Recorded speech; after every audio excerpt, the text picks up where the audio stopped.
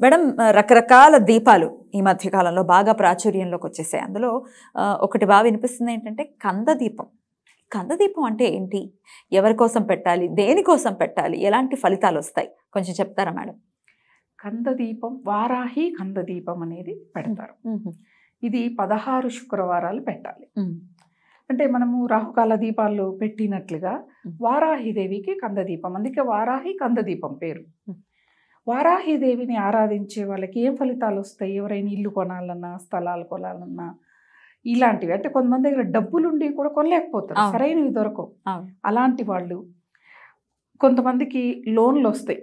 అప్పు చేయాల్సి వస్తుంది. అంటే కంపెనీ వాడు మీకు లోన్ ఉంది తీసుకోండి అని చెప్పి జాబ్ చేస్తున్న కంపెనీ నుంచి కూడా వస్తున్నప్పుడు కొనాలని ఉంటుంది. అలా ఇలాంటి వాళ్ళందరూ కూడా ఈ వారాహి కందదీపం పదహారు శుక్రవారాలు పెడితే అంటే ఏ అవసరం లేకపోయినా కూడా అమ్మవారిని ఆరాధన చేయొచ్చు. అవును. మనం భూములే కొనాలి అమ్మవారు పూజ చేస్తా. స్థలాలే కొనాలి అమ్మవారు పూజ చేస్తా కాదు. పుణ్యం కోసం చేయండి తప్పేముంది అసలు? అంతే. పదహారు శుక్రవారాలు ఈ కందదీపాన్ని కందగడ్డను తీసుకురావాలి. దీప ప్రమిదమైన ఉన్న కందగడ్డని కొంచెం పెద్దది. తీసుకొని వచ్చి అంటే అది గరుగ్ గరుగ్గా ఉంటుంది ఇలా ఎత్తులు పలాలు లాగా ఉంటుంది ఇట్లా గడ్డ ఉండి పైన ఇట్లా వస్తుంది కదా దాన్ని శుభ్రం చేయాలి. శుభ్రం చేసి ప్రమిదలాగా మధ్యలో తయారు చేసుకోవాలి. ఒక చాకు తీసుకొని కట్ చేసుకోవాలి. కట్ చేసి రౌండ్గా చేసుకొని ఒక- గుంటలాగా తయారు చేసుకోవాలి. కంద కందకు మొత్తము ఆ గడ్డకి పసుపుని పూసి కుంకుమలతో బొట్లు పెట్టి అందులో దీపాన్ని వెలిగించాలి. నూనెతో లేకపోతే నూనెతోనే. మనం నిత్య దీపారాధన నూనె ఏది వాడతామో ఆ నూనెనే వాడాలి? నువ్వుల నూనె శ్రేష్టమా? నువ్వుల నూనె శ్రేష్టం ఆవు నెయ్యి ఇంకా శ్రేష్టం. శ్రేష్టం. ఇది ఈ కందదీపం వారాహి అమ్మవారి ఫోటో దగ్గరే పెట్టాలంటే వద్దు. ఎందుకంటే మేము చెప్పే ఏ అమ్మవారి ఫోటోలు పెట్టుకున్నా పూజా మందిరం నిండిపోయి ఇల్లంతా కూడా అయింది. అవును. అలా కాదు. ఒక అమ్మవారి ఇన్ని అవతారాలు ఎత్తింది కాబట్టి లక్ష్మీదేవి ఉన్నా సరే లేకపోతే లలితా పరమేశ్వరి ఉన్నా సరే లేకపోతే పార్వతీ పరమేశ్వర్లు ఉంటారు పార్వతీదేవి ఉంటుంది అమ్మవారి దగ్గర పెట్టినా సరే. ఈ కంద దీపాన్ని. అయితే ఈ దీపం తయారు చేసుకున్నాం అన్నీ అయిపోయింది ఈ దీపం పెట్టే ప్రదేశం కూడా పసుపుతో రుద్ది ఆ చిత్రపటం ముందు. లేదా విగ్రహం ముందైనా. పూసి కుంకుమ పసుపు పెట్టి చిన్నగా దాని చుట్టూ ఏదైనా ముగ్గు వేసి.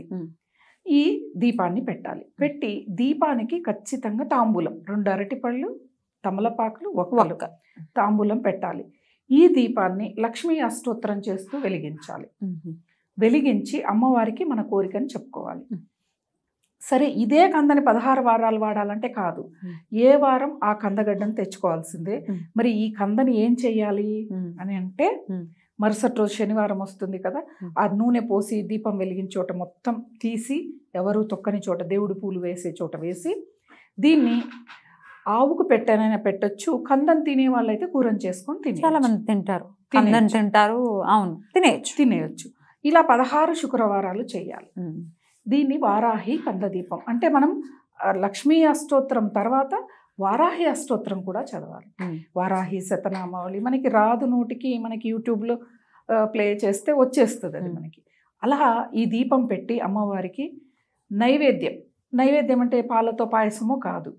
ప్రకృతి పరంగా మనకి వచ్చే దుంపలు పండ్లు ఉంటాయిగా. అంటే కంద కందనే దీపం పెడుతున్నాం. బీట్రూట్ కింద భూమిలోంచి వస్తుంది. బీట్రూట్ కానీ భూమిలో నుంచి వచ్చే క్యారెట్ కానీ ఇలాంటి దుంపలు. దుంపలు. నైవేద్యంగా పెట్టాలి ఇక్కడ అవేం కాదు. ఏం లేదు పచ్చివి ప్రకృతి పరంగా వచ్చినయే. అంటే మనము భూమి కోసమే చేస్తున్నాం కదా భూమిలో నుంచి వచ్చినయే. ఆలుగడ్డలు కూడా భూమిలో నుంచి. పెట్టచ్చు? పెట్టి వాటిని మనం కూర చేసుకొని తినేచ్చు. క్యారెట్ అంటే తినేస్తాం. బీట్రూట్ అంటే జ్యూస్ చేసుకుంటాం. ఆలుగడ్డ తింటాం. కూర. చేసుకోవచ్చు. తినొచ్చు. అయితే ఇక్కడ పెట్టిన ప్రసాదం ఇంట్లోని వారు మాత్రమే తినేయాలి. ఇది పని అమ్మకి ఇచ్చేస్తాలే లేకపోతే ఎదురింటోళ్ళకి ఇస్తాలే. పక్కింటోళ్ళకి ఇస్తాలే. అలా చేయకూడదు. ఓకే. వాళ్ళు మాత్రమే స్వీకరిస్తే పదహారు శుక్రవారాలు అయిపోయాక. ప్రతి వారం కందను మార్చి ఇలా కూర చేసుకోవచ్చు. అదే వాడకూడదు. ఎందుకంటే పాడవుతుంది పాడైపోతుంది. కాబట్టి ఈ విధంగా చేస్తే అంటే ఏదో ఈ హోమాలు చేయండి ఈ శాంతులు చేయండి అని అయితే నేను చెప్పను. ఇంట్లో ఉన్న వాటితోనే మనకి అనుకూలంగా ఉన్న వాటితోనే పెద్ద ఖర్చు లేకుండా చేయమని చెప్పేది ఏంటిది అంటే ఈ ఈ కష్టం వచ్చేదే వాళ్ళకి ఏం లేకపోతే వస్తుంది.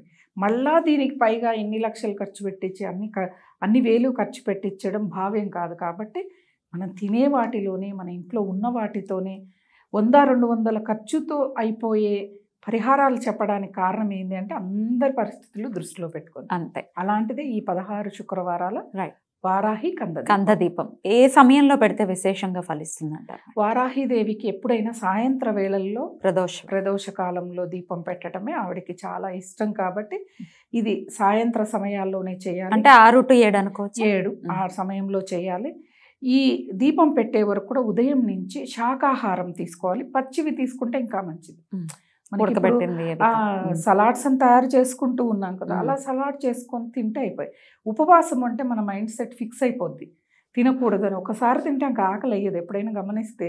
ఉపవాసం ఉన్న రోజు మిగతా రోజుల్లో నాలుగు సార్లు తిన్న ఆకలేస్తూనే ఉంటుంది ఉపవాసం రోజు ఒకసారి తిన్నాక ఇంకా ఆహారం జోలికి వెళ్ళం మనం. చాలా తక్కువ వెళ్ళరు అలా శాకాహారాన్ని తీసుకుంటూ రాత్రి మాత్రం మళ్ళా భోజనం చేయవచ్చు. ఏదైనా అల్పాహారం తీసుకుంటే ఇంకా మంచిది. లేదు మాకు షుగర్ ఉందండి బీపీ ఉందండి థైరాయిడ్ ఉంది మేము అలా శాకాహారం తీసుకుంటే మా శక్తి తక్కువ అవుతుంది అనుకున్న వాళ్ళు మాత్రం ఏదైనా సాత్వికాహారం చాలా ప్రధానం ఏ ఆరాధనకైనా లేదు అంటే కొంచెం ఉప్మా కానీ. గోధుమ రవ్వతో ఏదైనా చేసుకొని తినటం మంచిది. రైట్ మేడం ఈ పద్ధతిని అనుసరించాలి. అలాగే ఆ, ఒక రెండు మూడు సందేహాలు ఉన్నాయి మేడం అందులో ఎన్ని వత్తులు వేయాలని చాలా మంది అడుగుతారు. అవును? ఎప్పుడైనా ఆరాధనకి మూడుకు తక్కువ వేయకూడదు ఒత్తులు. మూడు ఒత్తులు వేయటం అంటే మూడింటిని ఒకేసారి ఇలా అనేసి ఒకటిలాగా వేయాలా? లేకపోతే రెండు ఒకటి ఒకటి అలా వేయాలా? లేదు వెలిగించడం ఒక్కటే దీపమే. మూడు ఒత్తులు మనం ముందే తయారు చేసి పెట్టుకుంటాం. మనం కొనడమే ఎక్కువ. ఇప్పుడు చేసే వాళ్ళు లేరు. మూడు ఒత్తుల్ని తీసుకొని ఒకటిగా చేస్తేనే దీపం ఒకటిగా వెలుగుతుంది. ఒత్తులేమో మూడే ఉంటాయి. వెలిగేదేమో ఒక- ఒకటే వెలుగుతుంది. అలా చెయ్యాలి. ఇంకా నూనె అంటే నువ్వుల నూనె ఆవు నెయ్యి ప్రతిరోజు ఏ ఆరాధనకి దీపారాధన వాడ నూనె వాడతారో అదే నూనెని పదహారు వారాల పదహారు వారాలు వెలిగించటం శ్రేష్టం. ఓకే. అయితే ఒక్కొక్కసారి ఏమవుతుందంటే మొత్తం నూనె అవ్వకుండానే దీపం ఆరిపోతుంది మేడం. ఇప్పుడు ఏం చేయాలి? పారబోసేయాలా నూనె అదంతా. నూనె పారబోయవలసిందే. అది మళ్ళీ తిరిగి నూనెని వాడకూడదు. ఒక్కసారి వెలిగించింది తిరిగి పారబోయకూడదు. అందుకే ఏం చెప్తారు అంటే ఎవరైనా చెప్పేది ప్రమిదల నిండుగా కానీ ఇలాంటి దీపాల నిండుగా మనకి కుష్మాండ దీపం కూడా ఉంటుంది. నిండుగా పోయకండి నూనెని. మీ ఆరాధన అయ్యే వరకు ఎంత కావాలో అంత పోయండి. ఆరాధన అయ్యే వరకు మనం అక్కడే ఉంటాం. ఒత్తి ఒకవేళ కాలుతుంటే ముందుకు జరుపుతూ ఉంటాం మనం. అంతే. అలా పోయాలి కానీ నిండుగా పోసేసి మరుసటి రోజు రెండు రోజులు మూడు రోజులు వెలిగింది అంటే మాకు మంచి జరుగుద్ది. ఇది కాదు. మంచి జరగటం. ఇంతసేపు వెలగాలంటారు మేడం. మనం ఆరాధన ఈ పూజ ఈ షోడశోపచార పూజ ఇవన్నీ చేసేవరకు ఈజీగా గంట పడుతుంది. అయిపోయా గంట అయిపోయి నైవేద్యం అయిపోయిన తర్వాత ఎప్పుడన్నా కొండెక్కని. మనకు సంబంధం లేదు. దాని దాని మనం దాన్ని వదిలేయాలి అంతే. వదిలేయాలి అంతే. అలా అని ఓ ఇంత ఇంత పెద్ద ఒత్తులు చుట్టలు తిప్పి వేసేసి మళ్ళీ శుక్రవారం వరకు అలాంటివి ఏమీ లేవు ఇందులో.